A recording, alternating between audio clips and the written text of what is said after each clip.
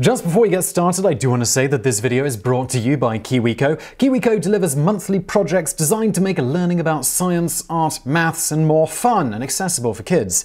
Get your first month for free at kiwico.com forward slash brainfood. In the video today, we're answering a viewer question because Massasy asks us, why do fingernails on a chalkboard make us cringe?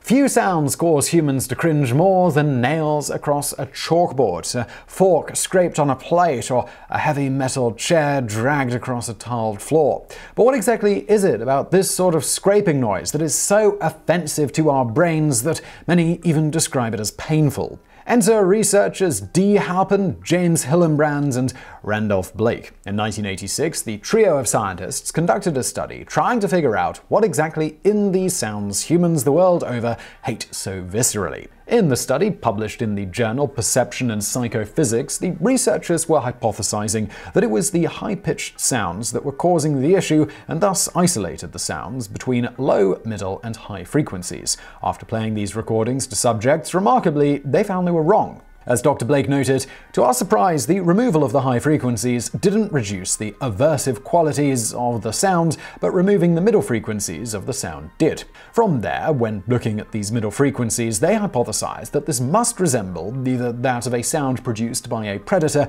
or a warning cry of another primate. They ultimately found, indeed, as stated by Blake, it turns out the sound waves associated with primate warning cries, particularly chimpanzee warning cries, are remarkably similar in appearance to the aversive middle frequency sound waves produced by fingernails on a chalkboard. Potentially worth noting is that a chimpanzee's human primate was the last common ancestor between humans and our hairier brethren, thought to have split around 13 million years ago, though hypothesized by some to still be interbreeding with us until around 4 million years ago. In any event, Blake then sums up Our speculation was that the reason the sound of fingernails on a chalkboard have an almost universal aversive quality is that it triggers in us an unconscious automatic reflex that we're hearing a warning cry. That said, it is widely reported that this hypothesis has been debunked by a study Are consonant intervals music to their ears? Spontaneous acoustic preferences in a non human primate, looking at how tamarin monkeys responded to certain sounds, including nails on a chalkboard like screeching, as well as white noise. However, if you actually go and read the study, it didn't definitively debunk anything with regards to the former study, nor was that the point of the new study at all. Most pertinent to the topic at hand, all it showed was that tamarin monkeys didn't seem to show any more or any less aversion to the screeching noise than white noise, unlike humans who are adverse to the screeching sound. As to the debunking angle, this appears to be yet another case of something a lot of sources say because some source somewhere said it once, both clearly not bothering to read the study and acting like a single study was a lot more definitive than it actually was, a favorite practice of media outlets the world over, pretty much as long as there have been scientific studies and media outlets reporting on their work. From there, nobody else seems to have been bothered to actually go read the study either, despite it kind of being their job when talking about this stuff. On this one, it turns out humans and monkeys are not exactly the same. It's a shocker, we know, and have slightly different evolutionary paths and, in some cases, range of vocals. As an example of how this can come into effect with sounds and tamarin monkeys, we have a 2010 study by Professor Charles Snowdon of the University of Wisconsin-Madison looking at frequencies of sounds that tamarin monkeys do respond to. Important to note here is that tamarin monkeys' resting heart rate is about twice that of humans, and their typical vocal vocalizations are about three octaves higher. In the study, they found these monkeys responded most strongly to music centered around their vocal frequencies and tempo of their heart rate, both in the sound's ability to agitate the monkeys and to calm them down. Further, the tamarin monkeys had no such responses to human music played for them. This is a common theme several studies show is true across various animals with different resting heart rates and vocal ranges than humans. For more on this, you can see our video Do Dogs and Cats Like It if you leave the radio or TV on when you leave the house. In any event, unsatisfied with this incomplete and fairly speculative answer of the 1986 study, researchers Michael Oehler and Christoph Reuter decided to conduct a study ultimately titled Psychoacoustics of Chalkboard Squeaking published in the Journal of the Acoustical Society of America in 2011. This more or less repeated the previous 1986 experiment, but using modern technologies and collecting a lot more data, particularly looking at heart rate, blood pressure, and skin electrical resistance of the subjects as they listened to the sounds of nails on a chalkboard, squeaky styrofoam, forks scraping on a dinner plate, and chalk making a high pitched squeaking sound against slate. What they found is that if they filtered out the sounds from 2000 to 4000 hertz, subjects actually sometimes even described the sounds as pleasant. In contrast, when the offending isolated range of sound was played for people, they hated it, confirming it is somewhere in the ballpark of these frequencies that are the offending bits. Noteworthy here, for reasons we'll get into shortly, typical human speech tends to average about 300 to 3000 hertz, though for reference, humans can only hear somewhere in the vicinity of 16 to 20,000 hertz. Going back to the study, while the researchers further found if they, for example, told the participants the sounds they were hearing were from a musical arrangement, people found them much less offensive than if they were told what they actually were. Regardless, though, there was an observed change in heart rate, blood pressure, and most noticeably skin conductivity when the unpleasant range of frequencies was being played. While fundamentally this research didn't really add too much new to the original study, the researchers here hypothesize that the reason we react so viscerally to the sounds in this range is because they are already really loud in many cases, and the human ear canal actually amplifies sounds in that range. This is obviously helpful for perceiving human speech, but if too loud, a source can become unpleasant and even perceived as painful. An acoustic engineer, Trevor Cox of the University of Salford, sums up it hits a range of frequency where your ear is particularly sensitive, and therefore you would expect a stronger response. Adding another significant piece to the puzzle, Sukhbinder Kumar et al. in 2012 published the results of their study, Features versus Feelings, Dissociable Representations of the Acoustic Features and Valence of Aversive Sounds. In it, they took fMRIs of a group of people listening to these types of sounds, among other more pleasant sounds like babbling water. In total, 74 different types of sounds were looked at.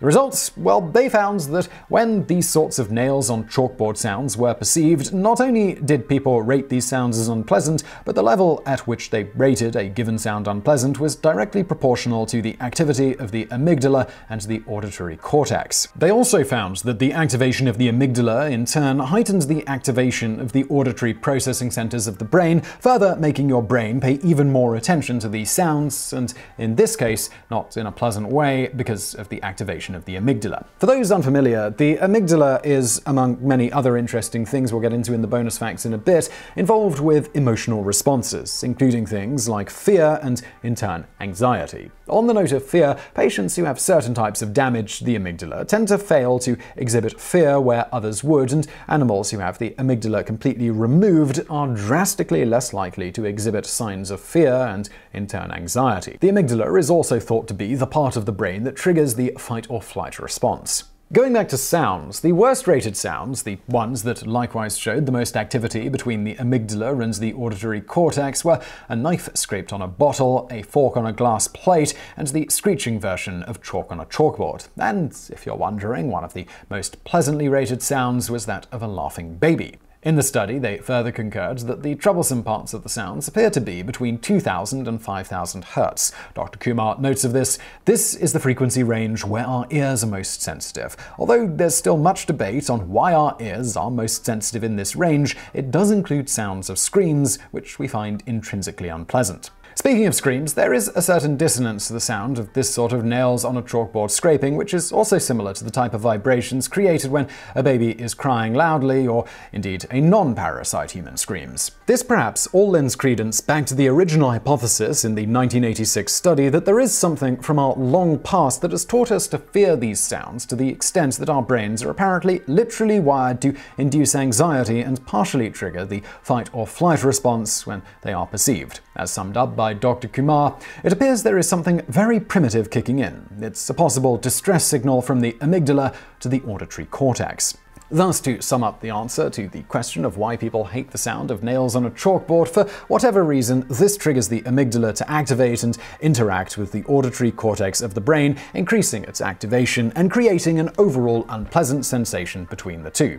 As to why, the working hypothesis to date is either because the sounds are being amplified in the ear canal to unpleasant levels, that the specific sounds in the offending range mimic that of a human screaming or a mini human crying loudly, or possibly all of those combined. And speaking of mini humans, while a baby crying is likewise one of the most unpleasant sounds, apparently in part from this amygdala activation, a baby laughing, as noted in the aforementioned 2012 study, is rated as one of the most pleasant to our brains, perhaps all giving at least one evolutionary benefit to why this is so encoded into our brains on both ends. And speaking of awesome science and your little parasites laughing, you'll get all of this when you do educational activities with them using KiwiCo. And that's why it's so great that they're sponsoring this video. KiwiCo deliver a monthly project to your door that make learning about science, art, maths, and more fun and accessible. They have different crates for different ages, so there's sure to be something suitable for your kids. As well as containing all the supplies you need for the month's project, there are also detailed instructions that are written for kids, as well as an educational magazine. The great thing about KiwiCo for Kids is that it bridges fun and education. The great thing for parents is it's super convenient, so you will find something that you like. We had someone on the TIFO team take them home for their kids and play around with it, and they loved it. It's entertainment for adults and kids alike, apparently. But seriously, this is a great way to get kids into doing something fun and educational. It's a win win. Plus, it's a win win win because you support our channel when you go to kiwico.com forward slash brainfood. You get your first subscription for free, which is a $19.95 value, and there's also a link in the description below. Thanks to KiwiCo for sponsoring, and let's get into the bonus fact. While you might think all of this research on why humans hate the sound of nails on chalkboard is kind of trivial and a waste of research dollars and the time of some of the world's finest minds, Dr. Kumar takes the opposite line of thinking, saying that it has interesting implications on other research. For example, this may help shed some light into why, for example, autistic individuals are so much more sensitive to many sounds that others don't find offensive, with some such sounds causing extreme panic responses at times. This is even more noteworthy when connected to the fact that autistic people often exhibit a certain level of facial blindness and lack of ability to read emotional states of others by their facial expressions and the like. Why is this connection potentially important? It turns out not just inducing certain anxiety responses from sounds, the amygdala also is integral in your ability to recognize the faces of people and their emotional state from this. Interestingly, the amygdala also plays a strong role in social interactions. For example, it's been found that the larger your amygdala, the more likely you are to have a larger and more diverse social sphere with many more connections than those with smaller amygdalas. The amygdala also plays a critical role in storing memories that occurred during emotional times, which is why you can remember those better.